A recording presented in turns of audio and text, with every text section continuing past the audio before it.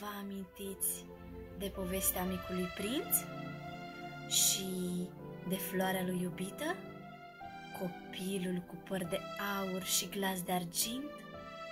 Frumos ca toți copiii lumii. Și de floarea lui iubită? Aseară am întârziat puțin în dreptul unei stele, dar l-am văzut venind spre mine. Era chiar el, dar era foarte trist.